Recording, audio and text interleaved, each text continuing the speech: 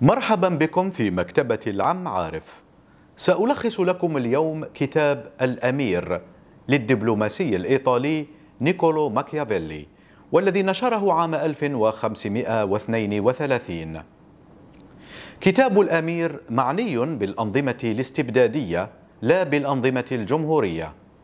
يعرف الفصلان الأول والثاني الأنواع المختلفة للإمارات والأمراء.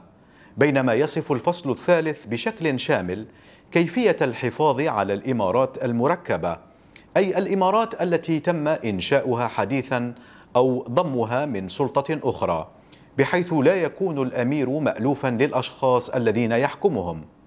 يقدم الفصل الثالث أيضا الاهتمامات الرئيسية للكتاب سياسات القوة والحرب والنوايا الشعبية الحسنة في شكل مغلف. تشكل الفصول من الرابع إلى الرابع عشر قلب الكتاب.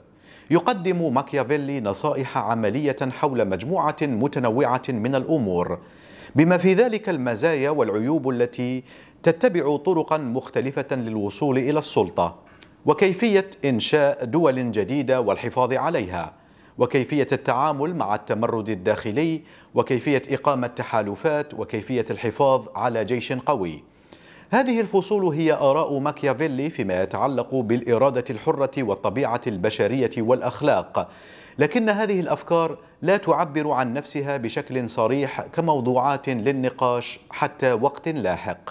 تركز الفصول من الخامس عشر إلى الثالث والعشرين على صفات الأمير نفسه. بشكل عام تسترشد هذه المناقشة بوجهة نظر ماكيافيلي الأساسية القائلة بأن المثل السامية تترجم إلى حكومة سيئة. هذا الافتراض صحيح بشكل خاص فيما يتعلق بالفضيلة الشخصية. قد يتم الإعجاب ببعض الفضائل لمصلحتها الخاصة ولكن تصرف الأمير وفقا للفضيلة غالبا ما يكون ضارا للدولة.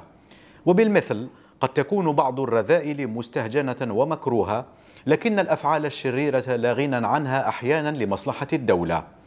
يجمع ماكيافيلي هذا المنطق مع الآخر. الفكرة القائلة بأن الفوز بثقة وحسن نية الجماهير هو أفضل طريقة للحفاظ على السلطة. وبالتالي قد يكون ظهور الفضيلة أكثر أهمية من الفضيلة الحقيقية التي يمكن اعتبارها مسؤولية. ترتبط الأقسام الأخيرة من الكتاب بسياق تاريخي محدد وهو تفكك إيطاليا. يحدد ماكيافيلي روايته وتفسيره لفشل الحكام الإيطاليين السابقين ويختتم بنداء حماسي لحكام الأمة في المستقبل. يؤكد ماكيافيلي على الاعتقاد بأن لورينزو دي ميديتشي الذي تم تكريس الكتاب له هو الوحيد القادر على استعادة شرف إيطاليا وفخرها. أتمنى أن يكون ملخص كتاب الأمير قد أعجبكم وأراكم في حلقة مقبلة إن شاء الله.